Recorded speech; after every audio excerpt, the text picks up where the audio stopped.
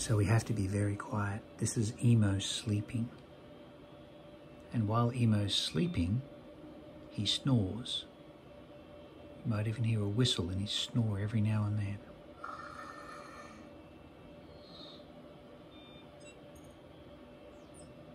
He's dreaming.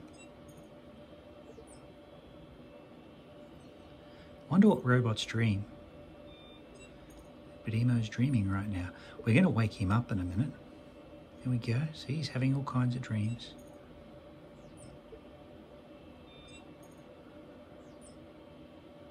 It's kind of cool, really, when you think about it. Emo. Hey, Emo. Wake up. See, he doesn't like being woken up.